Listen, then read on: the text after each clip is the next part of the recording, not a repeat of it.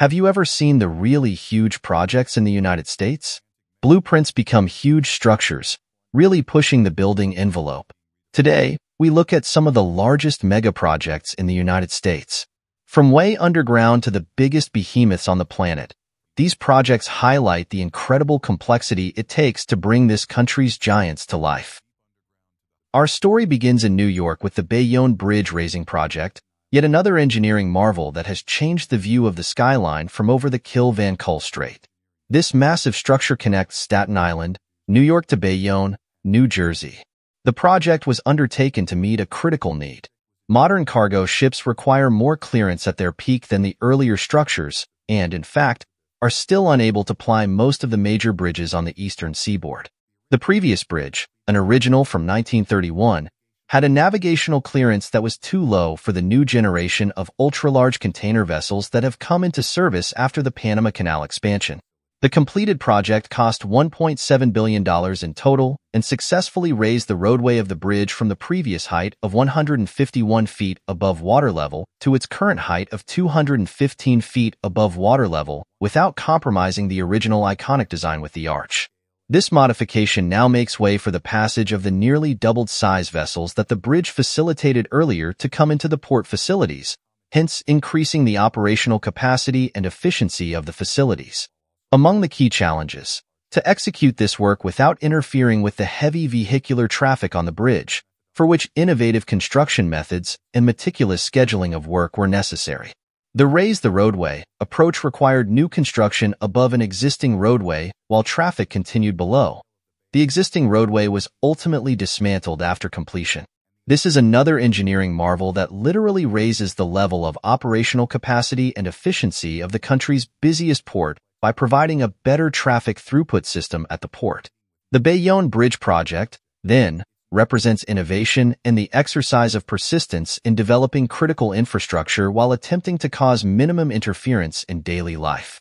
Successfully finishing the project enhanced the port's economic potentials while preserving a piece of architectural history for future generations. Let's move our attention to Atlanta Beltline Project, the Atlanta Beltline project is an ambitious and comprehensive revitalization effort aiming to transform a historic 22-mile railroad corridor encircling downtown Atlanta into a dynamic multi-use trail, modern streetcar line, and expansive green space.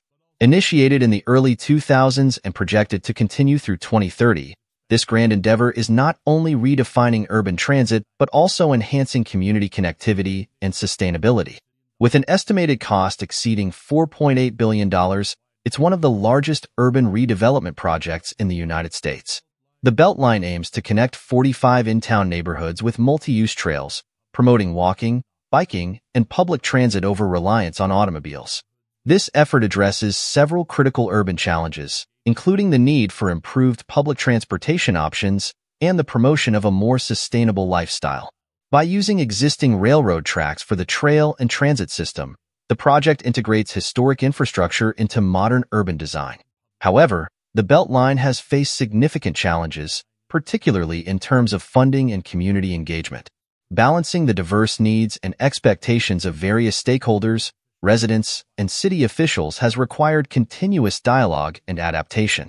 Additionally, the project navigates complex logistical challenges associated with constructing and maintaining infrastructure across active urban environments without significant disruptions to the daily lives of Atlanta's residents. Overall, the Atlanta Beltline project exemplifies the potential for urban redevelopment to transform cities into more connected, sustainable, and vibrant communities. As it progresses, the Beltline is expected to enhance Atlanta's appeal, improve quality of life for residents, and attract new businesses and tourists to the area. Next, we explore the second Midtown Tunnel, one of the most important projects for the Elizabeth River that joins Norfolk and Portsmouth cities in Virginia. It was constructed between 2012 and 2016. That is, it involved the construction of a new two-lane tunnel parallel to the existing Midtown Tunnel, hence doubling the capacity of this important traffic artery. Costing $2.1 billion, the construction process of the second Midtown Tunnel was innovative and complex. This was not the typical boring technique used for tunneling. Instead, it was done using an immersed tube technique. The prefabricated tunnel sections were floated to site and sunk into a pre-dug trench on the riverbed. Sections were connected to each other inside that trench to form the tunnel. This technique ensured minimal disruption to river traffic and perfect alignment of the tunnel sections. The new tunnel not only eases traffic congestion, but also improves the safety and time for thousands of travelers. Related to environmental concerns, the project has been careful to include several measures that would ensure no impact. This includes careful monitoring of water quality during construction and utilization of innovative techniques to manage and minimize displacement of sediments. The second Midtown Tunnel also consists of modern safety upgrades, such as advanced ventilation and lighting systems, along with emergency facilities, to ensure the tunnel is capable of meeting the current-day standards of infrastructure for resilience and safety of commuters.